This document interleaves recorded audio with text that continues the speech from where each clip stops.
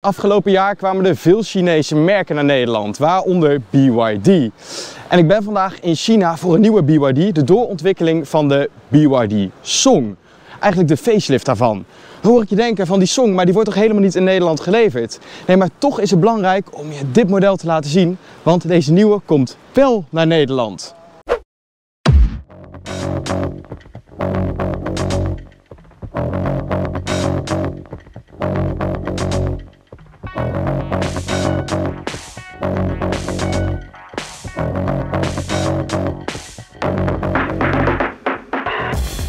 Zoals je hier ziet staan, dit is de BYD CU en dus niet die Song wat ik net zei.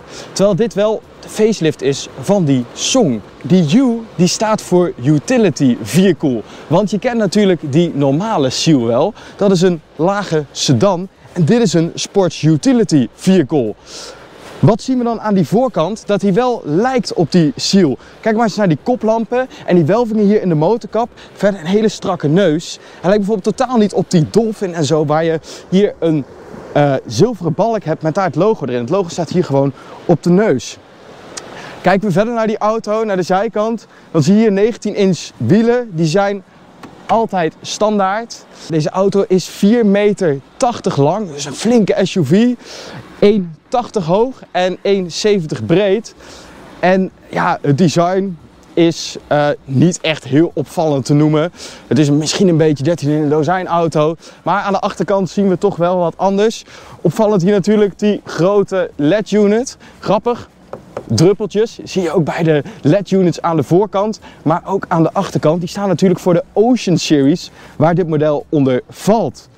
Um, maar we zien hier geen modelnaam op de achterklep staan. BYD weet nog niet of dat ze hier een modelnaam neer gaan zetten. Er zijn natuurlijk wel wat negatieve reacties geweest op dat Build Your Dreams volledig uitgespeld. Dus misschien is het wel een goed idee om dat af te laten of alleen BYD er neer te zetten. Gaan we ook even in die achterbak kijken hoeveel liter aan bagageruimte je hier hebt. Ja, hier in die achterbak heb je 570 liter aan bagageruimte. Leg je die tweede zitrij plat, dan heb je 1449 liter aan bagageruimte.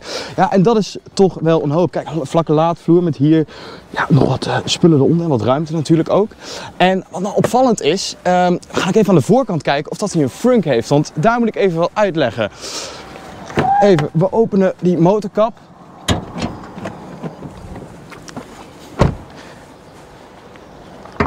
Kijk, en dan zie je hier ontzettend veel ruimte, maar geen frunk. En dat is toch wel een beetje een rare keuze. Want ja, waarom maak je niet gewoon een vakje voor spullen die je niet zo vaak gebruikt? Bijvoorbeeld een gevarendriehoek of zo. Um, BYD zegt wel, ja, aftermarket kunnen we wel iets inmonteren. Er zitten hier zelfs oogjes om wat vast te maken. Um, ik snap niet dat ze het af fabriek niet in doen, maar ja, uh, het is een keuze van BYD om dat niet te doen veel belangrijker dan die frunk is de tweede zitrij. Dus stap even bij me in, dan laat ik je zien hoe ik daar zit.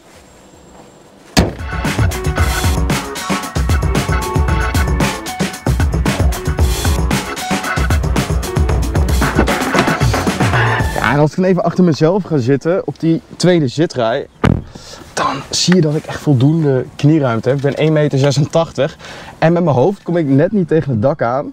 Um, het verschil met de Auto 3 zie je hier wel een klein beetje in de knieruimte. Deze auto wordt er nou, boven gepositioneerd. Het zit natuurlijk wel flink aan de bagageruimte. Achterin is dat verschil niet heel groot. Panoramadak trouwens standaard.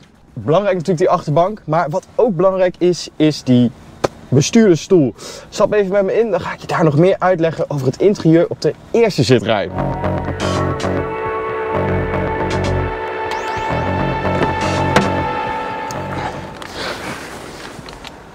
Ja, en kijken we dan voor in het interieur, dan lijkt in eerste instantie wel een beetje op die Seal. Maar de auto staat op een ander platform en toch zijn er wat dingen anders. Um, bijvoorbeeld digitaal klokkenpaneel. Je hebt hier geen, nou, toch een beetje lelijk schermpje achter het stuur. Nee, het zit mooi in dat dashboard geïntegreerd. Verder natuurlijk het bekende draaibare scherm van BYD. En hetzelfde als in de normale Seal, de schakelpook.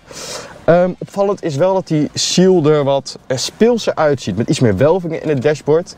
Um, terwijl deze natuurlijk wel hier wat uh, lampjes heeft.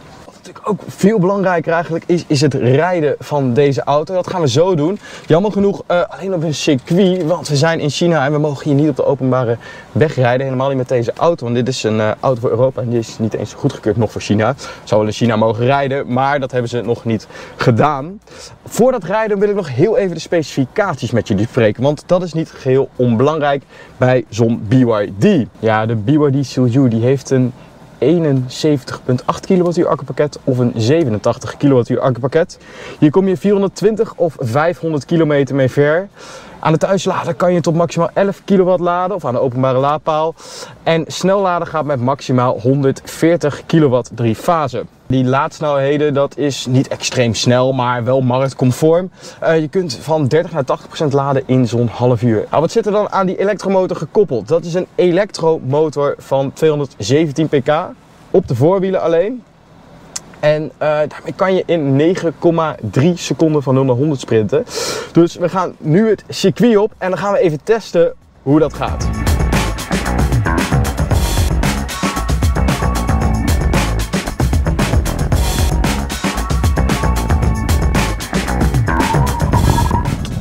Dan heb je wel echt voldoende vermogen natuurlijk. Maar qua sturen merk je direct dat het niet ter vergelijken is met de Seal. Het is natuurlijk een totaal andere auto, staat op een ander platform. Deze is veel hoger en zwaarder. Deze auto weegt maar liefst 2100 kilo. Trouwens een trekgewicht van 1500 kilo. En dat voel je aan alles. En de besturing is veel minder direct dan uh, de gewone Seal. Ja, natuurlijk veel onderstuur, dat is uh, logisch. En je merkt echt wel dat die koets zwaar is. Onderstel is heel comfortabel afgesteld. Eigenlijk helemaal geen auto om op het circuit te rijden. Maar ja, het is, uh, het is even niet anders. En stiekem toch ook wel een beetje leuk. Ja, verder deze auto. Uh, we rijden hem nu dus met het grote accupakket. En uh, dat betekent dat je dan ook standaard de design versie hebt. Je hebt ook uh, de comfort versie, dat is dan de versie met het kleine accupakket. Die design die heeft ook meteen een verwarmd stuurwiel en verwarmde en gekoelde stoelen.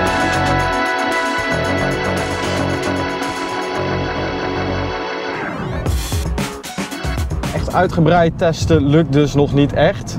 Maar vooralsnog merken ja, het is gewoon een comfortabele auto en het heeft niets te maken met de gewone Seal qua rij-eigenschappen. Toch een beetje jammer, maar wel te verwachten.